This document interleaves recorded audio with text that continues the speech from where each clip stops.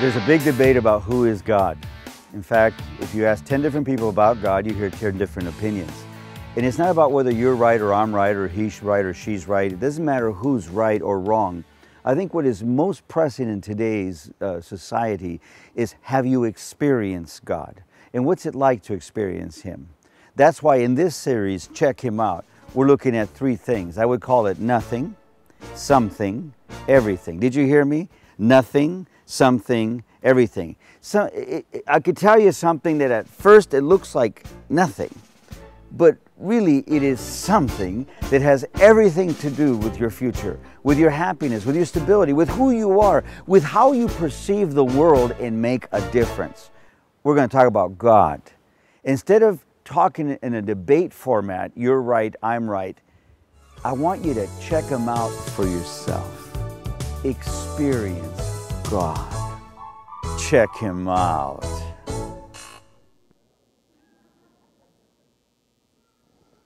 Turn your eyes upon Jesus. Look full in His wonderful face. You know what will happen? The things of this earth will grow strangely dim in the light of His glory, of His grace. That is not a debate, that is not a theological dilemma. You can, in your life, turn your eyes upon Jesus and experience something you've never experienced before. Too many people think that it's up to us to find God. So, consequently, a lot of people give up. I don't want to find God. I mean, I don't have time for God fact, religion is not anything that I'm inclined to because, see, if you think you have to find God, you're already off base. You can be very frustrated because in the Bible, in the scriptures, we are told that a sheep got lost. Now, when Jesus told this story, he didn't say the sheep ran around until he found the shepherd. The scriptures are very clear that the shepherd left the other sheep to go find the one that was lost. So it is not we who find God, it is God who finds us. That's why I wrote a book uh, uh about my mentors, the people God sent into my life who, who, who, who were very, very, very, very patient people. Uh, who walked with me and talked with me and, and, and showed me Jesus through their own journeys. And, and, and I learned something that God does not give up until he finds us. He's the one taking the initiative. And too many people think, well, I can never measure up. I will never be good enough. Why even try? You see, you're, you're trying to find him again, and lost sheep can't find shepherds. It's he who wants to find us just the way we are injured and broken and lost. And, he, and, and Jesus tells it very beautifully that the shepherd took the, the lost sheep and put him around his neck and walked him lovingly back to where the others were. Tonight's teaching is drawn from the book of Daniel, chapter 1 through 4. The book of Daniel in the Old Testament, chapters 1 through 4. This is the story of the king Nebuchadnezzar of one of the great, great empires of history, the Babylonian Empire. Does anyone know where Babylon is today? In which is the city of Babylon. Baghdad is Babylon. The river Euphrates went right through downtown Baghdad. And when you go to Baghdad today, some, maybe somebody who's worn the uniform has actually been there and knows what I'm talking about. The ruins of ancient Babylon are still right there outside of the city. And they protect them. Even a war knows better than to hurt such sacred ruins of a long ago empire of greatness. Led by Nebuchadnezzar, who had an ingenious method of conquering a nation, he would destroy the country and the people, chop down trees. Even the dog got killed. I mean, that, was pretty rough. And he would bring back representatives of the royal family. Only good looking young men from the royal family would be brought to Babylon, which means obviously I would have been killed on the first night of the invasion. Because if, you have to be good looking. I haven't scored on that, on that one yet, but uh, my wife loves me anyway, and that's enough for me. and when Jerusalem was destroyed, Nebuchadnezzar knew what he was doing. As you see, King Solomon had put away tons of gold, tons of gold, and tons of silver, and probably tons of jewels. One of the wisest men that ever lived, Solomon, as part of his diplomacy, would trade with other countries, and it was incredible just how much wealth he had amassed. When King Hezekiah, after him, uh, became careless and showed all these riches to Babylonian ambassadors, they never forgot, the Bible says, what they saw. So Nebuchadnezzar, as he was securing Jerusalem, first destroyed the, the, the, the treasuries and took all the money that was there. The sacking of the great city of Jerusalem was horrifying as the glorious temple that Solomon had dedicated to God was methodically dismantled, and the great cedars of Lebanon that lined its walls and were plated with gold, the gold was scraped off the wood, and the wood was thrown into the fire, as what was once the great temple of Solomon was nothing but a heap of destruction and tears. The few survivors that remained were sent up to Samaria and four guys from the royal family were captured, and their names were changed to Daniel, Shadrach, Meshach, and Abednego. Not Abednego. Abednego. I know you're excited. I know you've always wanted to know that. This has really impacted your life. These four young men, we're told in chapter one, were God blesses his people. Whoever experiences God becomes somebody who shares him with somebody else. And people have the mistaken notion that the only way to share God is with your mouth. Isn't that awful? Not everybody has the gift of mouth. Others never use it.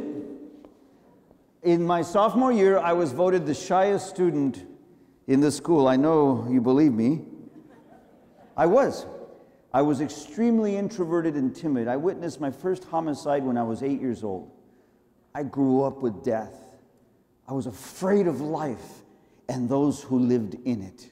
People that I care about have been killed, and, and people, others that I love are locked up in prison forever. And, and, and, and, and then society calls our fam, my family scum and, and, and wants more sentences for my relatives and, and wants death penalties for the people that I love.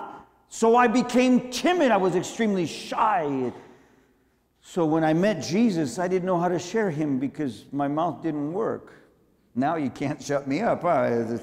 Stuff happens. That's right. Check him out. You see, in chapter one, these young men were faithful. The king says, You're going to eat from my table. All of these royal young men from the different countries that have been conquered, you're going to eat the food from the king's own table. You're going to attend the Babylonian universities, and you will become the advisors and counselors and, and soothsayers and astrologers and musicians to the king of Babylon. He was very smart. Representatives of all the royal families of the countries that he conquered are going to advise him on how to manage everything. Very smart. And these kids, when they got in there, these four, noticed what the king ate. It was bizarre stuff. It made weird noises. Some of it was still alive. It was weird. But because the king liked it, and it was still moving, try one. They're very high in protein. These kids, now here, remember, God wants to reach Nebuchadnezzar. And the kids tell the king, Oh, king, live forever. By the way, that was the greeting you gave the king. Oh, king, live forever. It's kind of like when you greet the president of the United States. Thank you, Mr. President. Thank you, Mr. President. Yeah. He may tell you you're ugly. Thank you, Mr. President. After you, you leave, thank you, Mr. President. You never say yes, sir, unless you are wearing a uniform. You may say, Sir, Mr. President. Thank you, Mr. President. You're always thanking him even if you have nothing to thank him. Thank you, Mr. President. You may not even like him. Thank you, Mr. President. How did you greet the king, Nebuchadnezzar?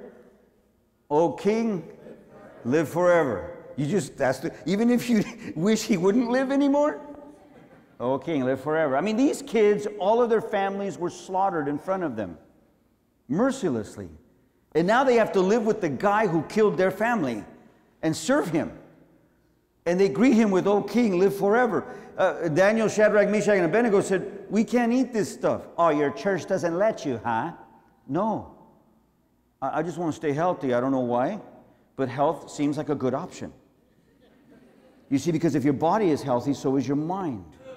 If you are functioning and you're properly oxygenating your brain, then frontal lobe function improves. Then you can reason better. The Holy Spirit can speak to you. You can hear God speak to you more clearly through the scriptures if your mind is clear. But if you are ill and your mind becomes clouded, how can you comprehend everything? It's much more difficult. So take care of your body. We like to eat legumes, they told the king. You know what legumes are? Beans. You know these boys were Mexicans. It's exciting stuff, man. You know this is gospel down in Mexico. They, we want to eat beans. Amen. All right, lentils come into it too. Yes, almonds and walnut. But I like the beans part. And we want to drink water. We don't need all these other things you're drinking. The king, uh, through his servant Ashpenaz, you guys are going to become pale. No, try us out for for 10 days. Just check them out for 10 days if our God will not bless us. So for 10 days, they ate beans, drank water, then they had bean soup, they had bean curd, bean pie, bean pizza. They sell those at Taco Bell. They ate beans. It was a good 10 days. At the end of the 10 days, their faces were brighter than all the other young men. And when Ashpenaz saw that, eh, he told the king, the king was impressed. And he says, Truly, your God is a great God. See, that means the king accepted that it was true that taking care of your health is a wonderful thing. And they went to university. They got grades 10 times higher than everyone else. How do you do that? The highest is 4.0, but Harvard University accepts applicants beginning at 4.1. I've seen eggheads at 4.3. At my uh, apologies to the 4.3s here from the University of Oregon at Eugene. That means you got straight A's in all your required courses, and just for fun, you took all these extra Killam courses that are not necessary, and you got an A there as well. What's it like to get 40.0? These guys were freaks of intelligence. The king heard about it. What do you mean 10 times? Yeah, they're the kids that eat beans. of course, they sleep outside. The Bible tells incredible stories. Check it out. And so, so they, the king says, Bring them in. He personally interviews them, and they are wiser. You, there's a difference between being smart and being wise. Smart people can tell you the least common denominator of 314,000 times 53. But a wise person can tell you, with all the math in the world, Take care of your family. Ooh. Wisdom goes further than knowledge.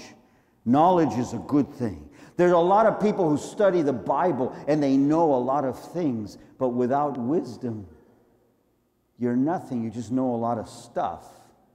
That's right. I know this message of Melchizedek. Do you? Uh, yes. If you don't know it, you won't be saved. Okay, so you have to know something to be saved. It's not what you know, it's who you know. Have you met Jesus? Check him out. You see, these boys were interviewed, and Nebuchadnezzar says, Thy God indeed is a great God. See, he accepted, Nebuchadnezzar accepted that this is a great God. And, and he, he, he, everything, this is true. He knew it was true. God tried to reach Nebuchadnezzar through what is called in the Bible a health message that you can take care of your body. God first tried to reach him by inviting him to have a healthy body. And he admitted that it was true, but he did not believe. Because when someone believes in something, they do it. You can know everything and even accept it as truth, but if you don't believe, you're not, it's as if you didn't know it anyway. So God tried to reach him in chapter one. We go to chapter two. Nebuchadnezzar's asleep and he has a nightmare. Have you ever had a nightmare before? See, while you're sleeping, your short term memory, which is over here, is communicating with your long term memory, which is over here. And while you're asleep, it's throwing short term memories to file away, it's sorting them out like you do the laundry. Is sorting them out to put them away in your long term memory. That's why your dreams are weird. Suddenly you're in the middle of your living room, and the next thing you know, you're at the beach and the foam's wetting your toes, and, and then the next moment, a lion is chasing you. What's that? It's a dream. Have you noticed when you're running in dreams, you can't run fast? And you wish you could, it's like slow motion. You know why you can't run? Because you're in bed. Did you notice how the blankets were in the morning? You better be thankful you didn't get up and actually run, because some people do have that gift of sleepwalking or running. See, and in chapter 2, Nebuchadnezzar has a nightmare and he wakes up in a cold sweat and he's screaming, and you know, it's two, three in the morning, and the wise men of Babylon, the soothsayers, the Chaldeans, the advisors, the musicians, they're all called to the king's bed. But because they were jealous of Daniel and his four, three friends who were so much wiser than them, they didn't even wake them up because they were members of that same group of advisors to the king. So as they slept, these guys said, Oh, king, live forever. What's up? Well, not quite that way, but the king says, I had this dream. And like all good dreams, you know how it is in the morning. What was wrong with you? I had a, he was here with a nightmare.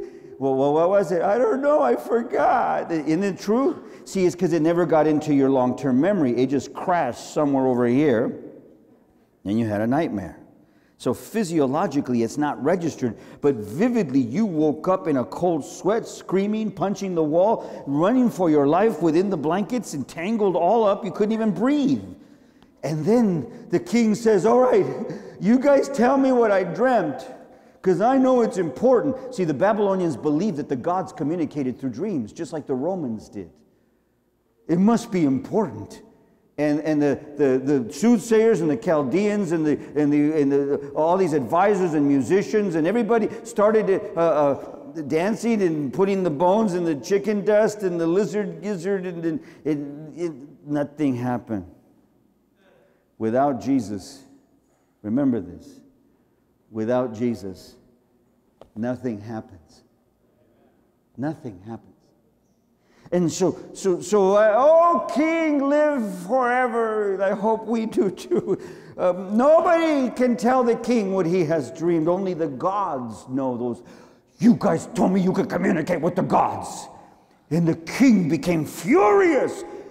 Kill them, take them, take them home, and take the whole family, destroy the house with the family still in it. Saddam Hussein used to do that when his Air Force general during Desert Storm was plotting to assassinate him, and during one of their bunker meetings downstairs, Saddam Hussein shot his Air Force general. The body was cut in pieces and put into a black plastic bag. To the horror of the family, was delivered to the, the house of this general. All the relatives were rounded up and put into the house, and then they blew the house up with the family still in it some traditions remain. So that's what the king said have them cut into pieces and take them home and kill the whole family, destroy the house. And, and then they went and woke up uh, Daniel and his three friends. You better run for your life. I have orders to kill you guys. What happened? And then they got the story take us before the king. And Daniel went before the king, and this guy's not even 20 years old yet. He, oh, king, live forever. Can you tell me what I have dreamt? No, O king. But there is a God in heaven who reveals secrets, and he can tell you what you dreamt. Give me 24 hours. And then the king said, You're stalling, man. I know politics, okay? This is Washington, D.C. I seen this in committee. Come on, CNN, and tell them what I know.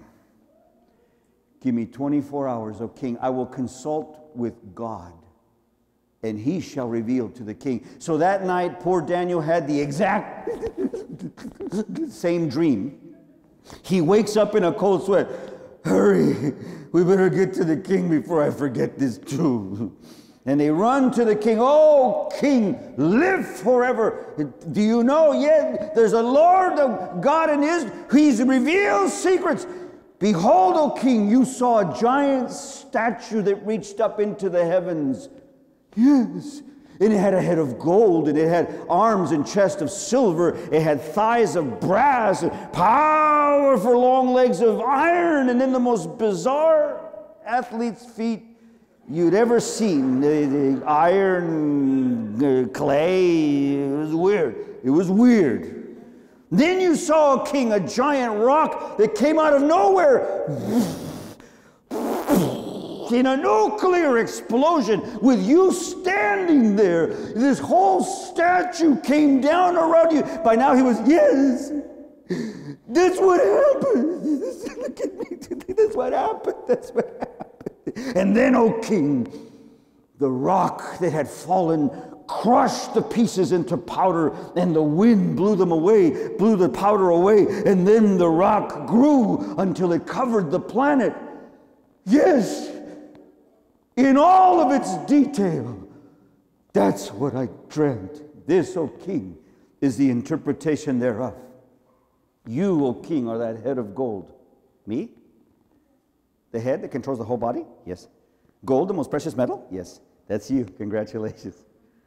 But after you, what do you mean after me? My kingdom's forever. Another kingdom's going to destroy you that's inferior, not even as mighty as you, like silver is inferior to gold. And then after them, another kingdom inferior to them is going to quickly take them over, like brass is inferior to silver. And then this mighty, powerful, destructive kingdom that crushes the world, those legs of iron, will take over for a long time. Then at the end, this bizarre athlete's feet, uh, feet of iron and clay that just, they keep talking about getting along, but they just don't. And there'll be 10 kingdoms they just don't get along until one day God, through that rock, sends his kingdom.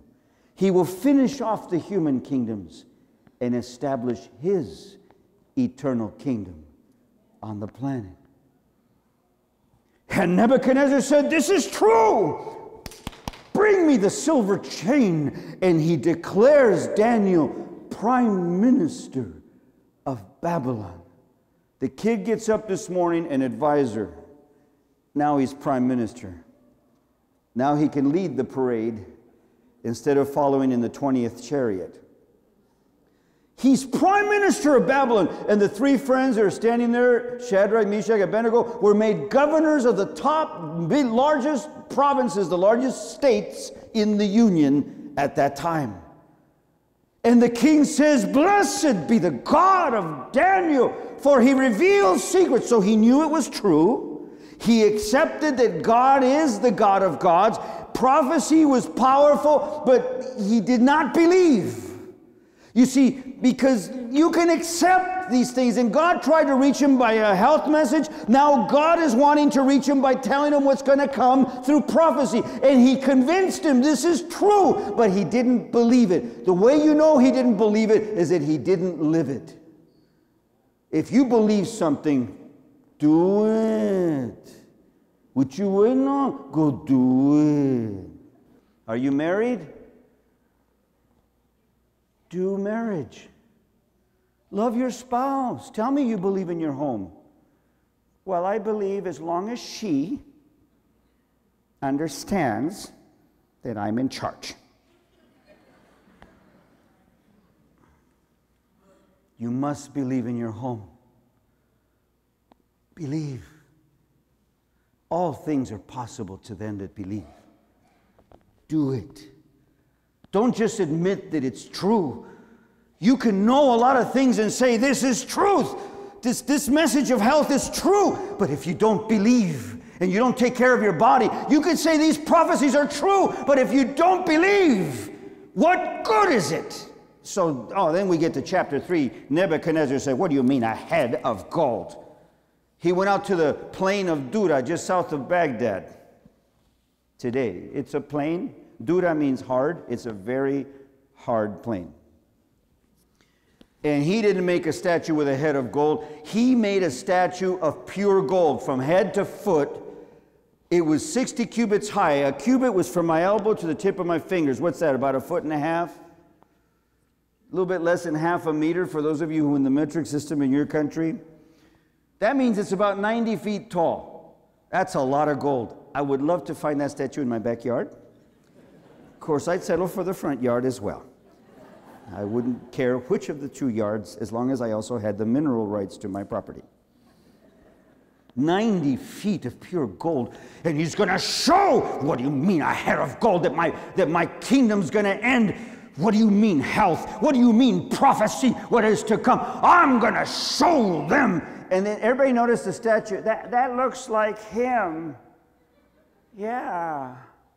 So he was declaring himself the new God of Babylon, just like the Caesars believed themselves to be God, and most of the people thought them to be a God.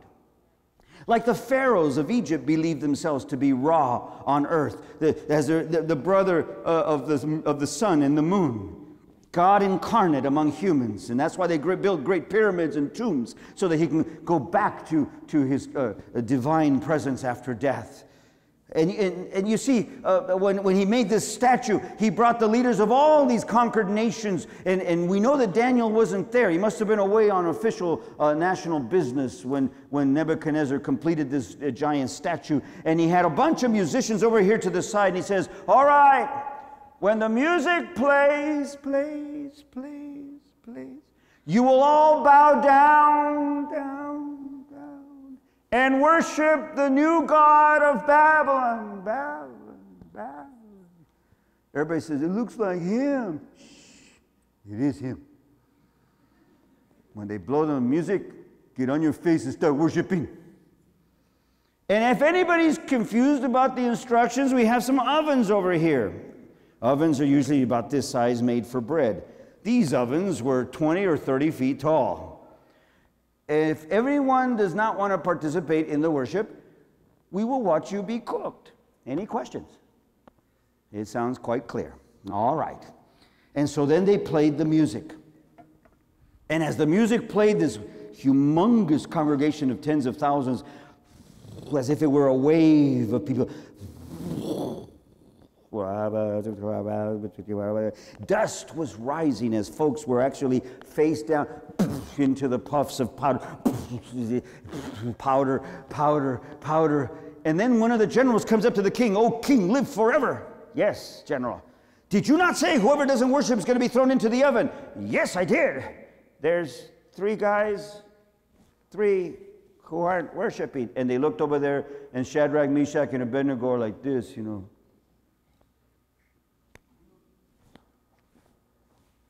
They weren't worshiping. Oh, my boys, my wise guys, 10 times wiser than everybody else. Bring them over here. What are you guys doing? You're making me look bad. The king of Babylon only gives instructions one time. You, disobedience is impossible, but what you've done is public, and you're the governors of my three largest provinces. Because I love you guys, I give my own kids. I'll give you a break. Uh, let's gonna, we're going to start the song. There's been a confusion. The governors didn't hear the instruction because they were all the way in the back, right? Right? Oh, king, live forever. You know, like, because uh, these were young men. Okay, like, we know what you're like, you know, like trying to do. So, like, we can't, like, worship that. What? No, we, we like, we worship God. There's only one. We can't have two today. I mean, it's kind of like weird. so we're going to like continue worshiping our God. But if you like get mad and throw us into the fire, that's okay. Because our God can take care of us. And if he chooses not to, O king, live forever, be it known unto you that we will gladly die, if necessary, for our God. And the king could not believe that these kids defied him. Grab them, tie them up. And they were tied to the point of their hands turning blue. And I want mighty men. Now, these were mighty men were men who were ready to die for the king in suicide missions. And several men came, Yes, king, live forever. Give me the order. Take these men, heat the oven seven times hotter. And so that's a lot of bellows work. And finally, the entire wall, this thick clay wall of those round ovens, was glowing bright red like a kiln where you do ceramics, which puts it at approximately 1,800 to 2,100 degrees Fahrenheit, which means if you get close, let's just call it the end of a perfect day. And so now, mighty men, throw them in, and these guys are running with these kids, and they burst into flames. They throw them in, and the men die, completely engulfed in flames. The kids land inside the oven. Entire logs had been thrown in, and they were embers this size, but they only weighed a pound each. They were bright red, and these guys landed, and they all kind of like sat up. The ropes, of course, instantly singed off like hair. Are you guys okay? Who else is in here? I'm here too. I'm over here. We're talking from inside the oven. Turkeys have always been inspired by this story, I can imagine.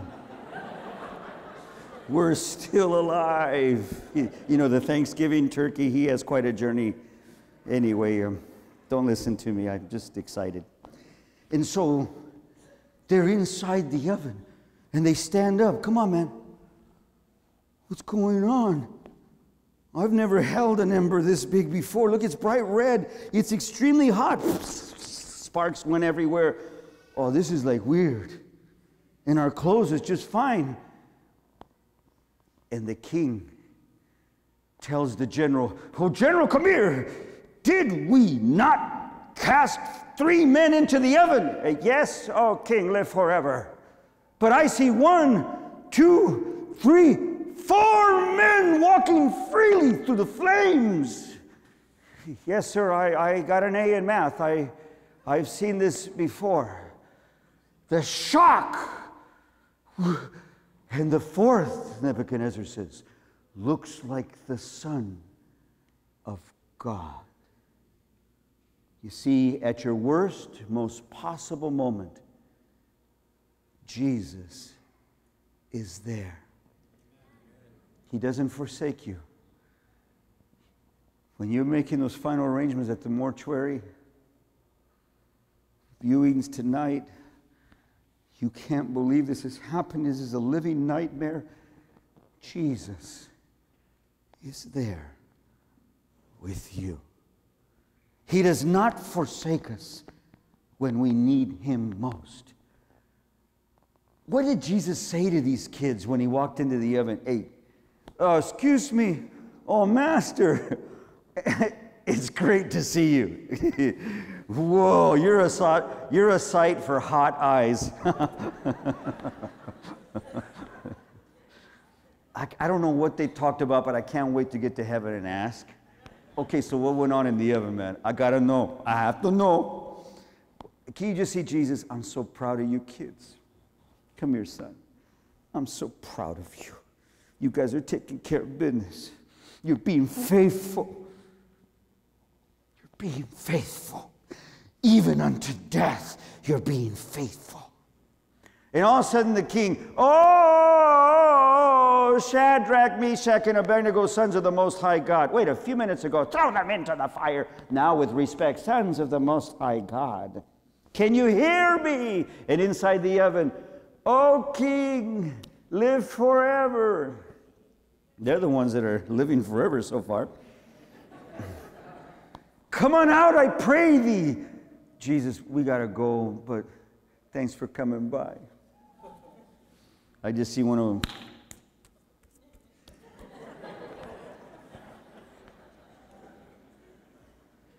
see, when you're from the streets, you think very differently. I know that it may seem irreverent, but you have to know that God reaches everyone. What I'm letting you know is that it doesn't always look the same when God reaches somebody who's not from our culture, from our value system. If you're a farmer and you're in the, in the heart of Manhattan in New York City, you're going to see Jesus reach people in ways that would never ever be seen on a farm. And the same thing is if I bring someone from Manhattan and put them at a farm, they would be freaked out at how God reaches people on farms. So God has his way of reaching people. The king was so impressed that he says, Blessed be the God of Shadrach and Meshach and Abednego, because they were faithful even at the cost of their lives.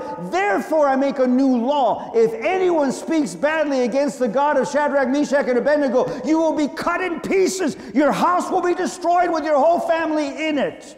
He, he accepted that it was true, that that is the only true God. He accepted that He's a mighty God and that He's greater than the king. He accepted everything. This is all true but he didn't believe. It's possible to know truth and still not believe.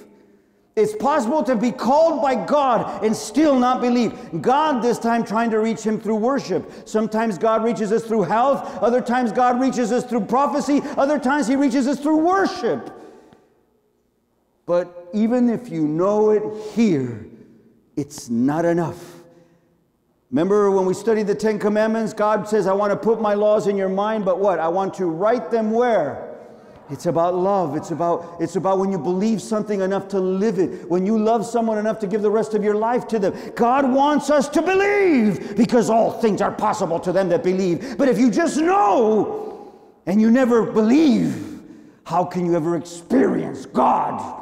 You experience anger and bitterness. There are people who say, I keep all Ten Commandments, and they criticize and destroy others who they claim do not keep the commandments. I keep ten, and they are all keeping nine. Not realizing that they're breaking the ninth commandment, speaking false witness against their neighbor. An evil, a destructive evil. But they don't believe because they keep doing this sin over and over. I reserve the right to condemn someone. Amen. You have no such right. God calls all of us to repent of our sins. The Ten Commandments are the first four of a love relationship with God. The last six commandments are of a love relationship with people made in the image of God. And if you speak false witness against your neighbor, even the law comes after you. That's called defamation of character. But some people think because they hold a Bible in their hand or some prophetic writing, they can now destroy the faith of another. Shame on such a person. This is why many skeptics say, you see, you Christians don't have your act together. If you're sitting here tonight and you've never believed in God, you see, we come to terms with our journey as Christians. We have moments of what's called revival and awakening where God speaks to us and we realize this journey is an exciting direction to go we can continue to learn each day more and more. It never ends. This journey will last forever. Even when we get to heaven, we're told we will study the love of Jesus. That study will never end. Well, see, Nebuchadnezzar accepted it was all true, but didn't believe. And finally, chapter 4 of, of Daniel. This chapter was written by Nebuchadnezzar himself. He says, And I, Nebuchadnezzar, was asleep upon my bed, and I had this dream, and I saw this giant sequoia redwood just south of Fortuna. See, my parents live in Ukiah. Uh, 14 miles from their house is the tallest tree on planet Earth. It's a redwood. They live in the Pomo Reservation in Ukiah. See, our, our, our tribal roots are accepted, and the, the Pomo took us in. If I shave my mustache, oh, look it. He's native. Check it out. Then some Rojas came along, gave us facial hair. Ooh. I had this dream. He says, I saw a tree that reached up into the heavens, animals rested in its shade. And then one day I heard a voice from heaven say, Cut down the tree and, and, let seven times pass over until he recognized that it is God who gives kingdoms and takes away kingdoms. It is God who can humble the proud. And so then Nebuchadnezzar called Daniel and he says, I had this dream and he remembered it. And, then, and Daniel got really sad. He says, Oh, king, live forever. This dream is for your enemies. I could take it, Daniel. When a man tells you I could take it, ladies, is it true? We can never take it. Can't take it. That's why they're afraid to tell us. But make sure you tell him anyway, even if he doesn't know how to take it, because we have to know. And so, so Nebuchadnezzar uh, tells Daniel, I can take it. He says, Oh, king, you are that tree. And God's been trying to reach you, and you insist on not, on not believing. And if you insist that way, God's going to have to honor your desires. He's going to step back, and you're going to taste what life is like without the presence of God. It is a fearful condition. You will experience something horrible, and it won't be God that's punishing you, it's you punishing yourself. And the king was shaken by it because he says 12 months to the day. So for an entire year, he thought about it. He knew it to be true, but he didn't believe because he didn't do it. And so then in chapter 4, all of a sudden he says, one day he comes out onto the porches overlooking the Euphrates River, one of the seven wonders of the world, where the hanging gardens of Babylon in the middle of that God forsaken desert because of the river. In his brilliance, he had made this architectural marvel with plants and greenery an oasis in the middle of nowhere.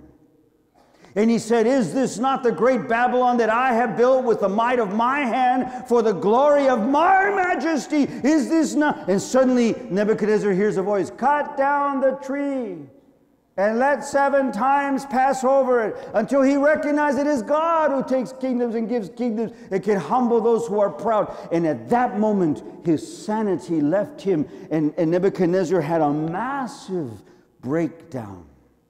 Physiologically, he lost his entire capacity for normal function. We are told that he was carried out to a barn and he would eat hay alongside the animals. In the morning, he would be wet with the dew of heaven.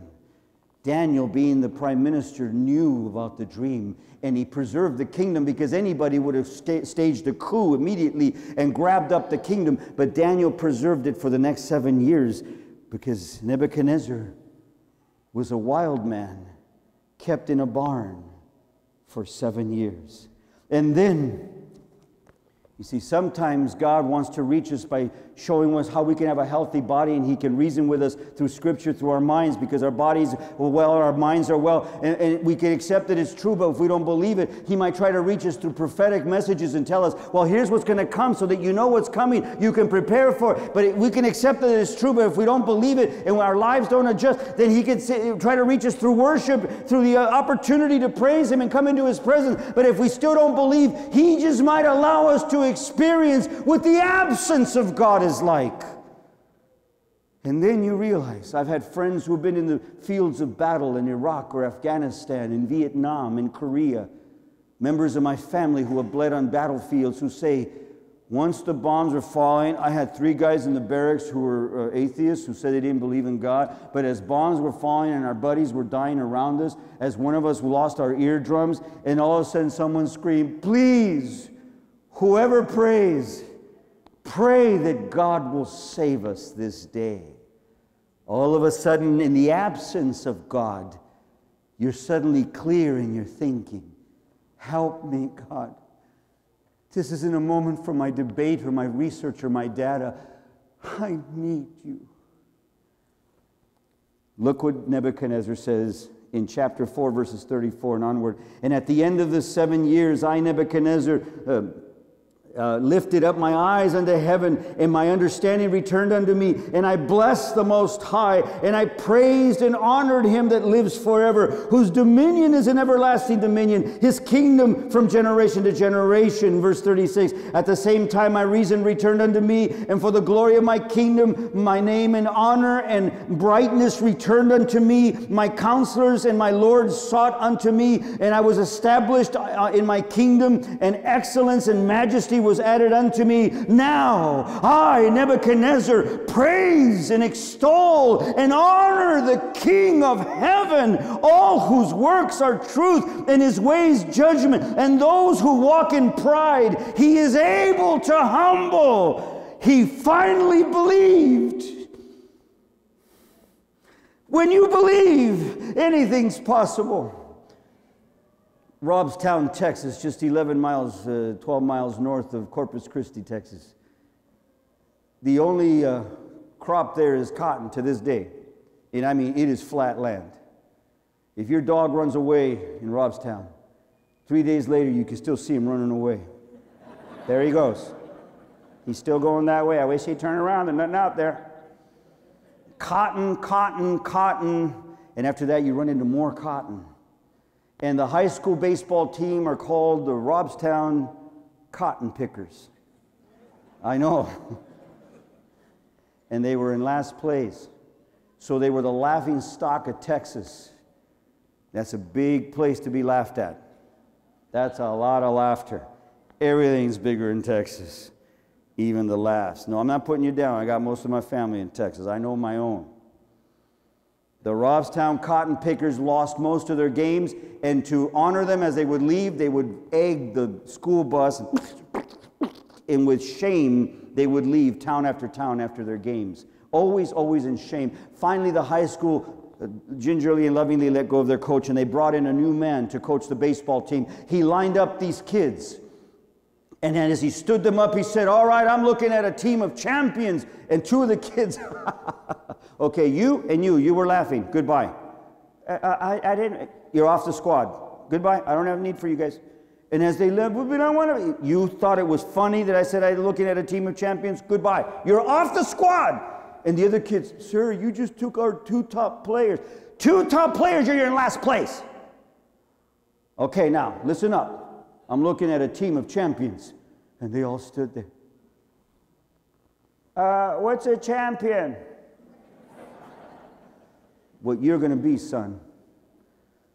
Lesson number one, and hear me. First, you must believe. First, you must believe. And they said, okay, what does that mean?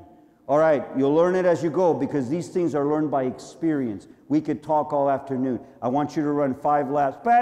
And they're running with their side. I say, I want to play baseball. I'm not a track star. Okay, just for that, an extra lap for everybody. And then he had them play soccer, baseball. Uh-uh, I want to work you guys. And he used to be in the Marines. He brought some values to the training. And so these poor kids were worked out like they'd never been worked out before. They came in fourth place that season. The next season, they came in first place. And in the, in, in the locker room, the coach said, First! And they said, What? You must believe. So, first, you must believe. First, you must believe. First, you must believe. And then they go out there like if it was a football game, you know, the way with all this adrenaline, and you're a baseball team. Next year they came in the state championship, best team in Texas. Then they went to nationals, and they won second place. They lost. The second best high school baseball team in these United States of America. First! You must believe. You see, when you believe, you do something. When you believe in something, you have something to live for. Everything else is talk, everything else is last place. But when you believe, let me show you some pictures. I, I thought this was just a story, so I went to Robstown, Texas. I've been there twice, and I saw these kids working out in the field. And I was so overwhelmed, of course, they worried about some dude standing. Okay, may, may we help here? No, you've already helped me. I just came to see with my own eyes. And I want to show you these pictures if the staff can throw them on there. Um, there are these pictures of, of the high school that, that we took while we were there. And look what they wrote in the dugout. First, you must believe. And these kids have done so well. They have become the pride. I mean, they, it's overwhelming to see what these kids have achieved. And then it caught on to the whole school. They had the lowest achievement scores, the highest dropout rate. 60% of the kids would drop out before finishing high school. But if the baseball team can do it, then we can do it in the classroom. And suddenly they're one of the top achieving high schools in the great state of Texas because the students first they must believe. And so they said athletics plus academics equals excellence because they believe. And the town who used to be ashamed of their cotton pickers, notice what this town of Robstown did. The, notice the letters, that's not a professional sign. These are kids painting what their purpose for living is. And, and, and if you could move it forward and look at these pictures of, of how it looks in the town now. This one photo that really overwhelmed me the town is proud of their kids, the Robstown cotton pickers. Nobody laughs because it is now the symbol of excellence in the entire state of Texas. I took these pictures. I went to see this with my own eyes. When people believe, miracles happen. God said, for, for he loved the world so much that he gave his only begotten Son, that whosoever believes in him will not perish, but have everlasting life. There are people who know Jesus. They know about Jesus. They know about Jesus in the Old Testament. They know about Jesus in the New Testament. They know about Jesus in the world to come. They have a Christology. They know the soteriological implications of sanctification and justification by faith in Jesus, but they've never met him. First, you must believe. All things are possible to them that believe. If you're a skeptic, I speak to you respectfully tonight. If you're saying, I don't know what to believe, yes, you do. Trust Him. Experience Him through your body with health. Experience Him through the study of His Word in prophecy. Experiencing Him through worship. He can reach your heart too. That's an experience. That's not just a ritual. It's not a duty. It's what you do when you believe. God reached Nebuchadnezzar, and He's still reaching people today. He wants to reach you. Check Him out. You see, I have nothing to lose. I've already lost family. If you want my job, you could have it. Doesn't pay much anyway. I'd probably make more money somewhere else.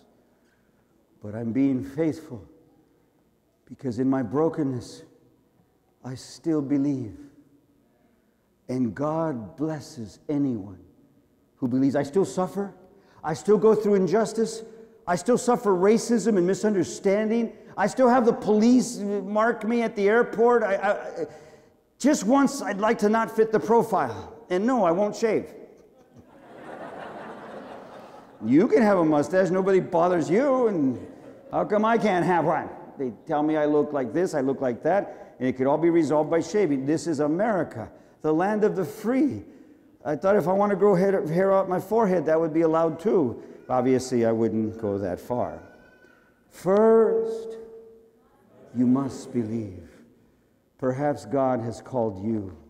As I sing this song, I want to invite you, those of you who feel that God has called you, to believe in something, to believe that possibly it is time to, to look into this issue of baptism in your life or to believe that, all right, all right, I can sense then that there is a divine presence, that there is a divinity. Are you sure that it is Yeshua? Are you sure that Yeshua is Hamashiach? Are you sure that Jesus truly is the Messiah? Well, come and check him out for yourself. He is my friend. He is my life. He leads you by the hand. Oh, taste and see that the Lord is good. Yes, we're friends forever.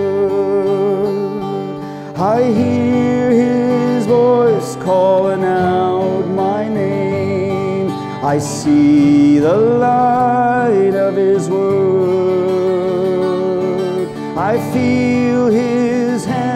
Reaching out to my heart and taste the joy of his love. He is my friend, he is my life, he leads me by the hand. Oh, taste and see that the Lord is good. Yes, we're friends forever. Have you ever been lonely, needing a friend? Jesus is the one you're looking for. Cause he never will leave you, he'll always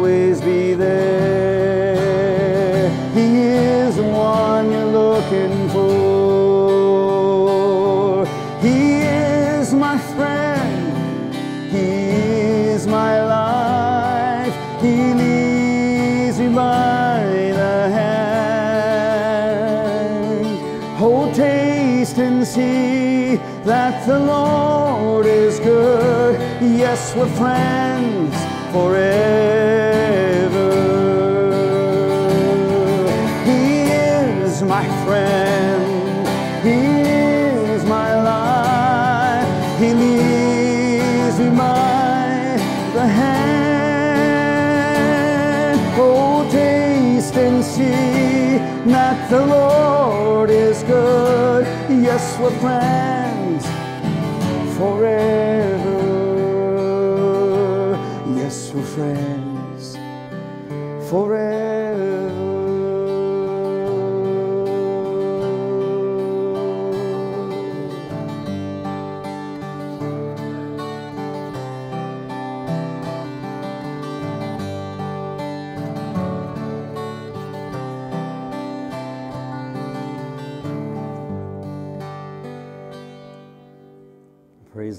If there's anyone else that God is calling, just come on up so we can pray together.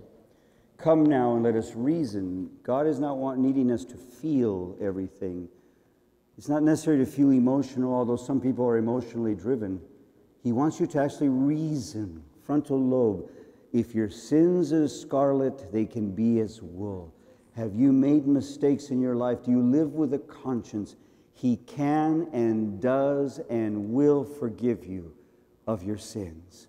There's nothing more powerful than to have a, cheek, a, a, cle- a clean chalkboard in your life. He wants to cleanse you of all unrighteousness. Anyone else? I'm just giving you an opportunity before we pray that God is calling you for such a time as this, that you too can believe. All things are possible to them that believe. Enough knowledge. You can know truth, but unless you believe, knowledge will not save you. It's not what you know, it's who you know. Jesus, the author and finisher of our faith. Jesus, the way. Jesus, the truth. Jesus, the life. This is an experience. It's more than a system of beliefs. You can experience Him through your healthy body. You can experience Him through the study of Scripture. You can experience Him through the worship with God's people. Experience Him. Check Him out for yourself. Praise the Lord for those of you who have come forward in your faithfulness. You must go and you must tell others what you have seen. Jesus says, You will be my witnesses. Tell others what you have witnessed God do this day in your life and in the lives of others. Go in peace.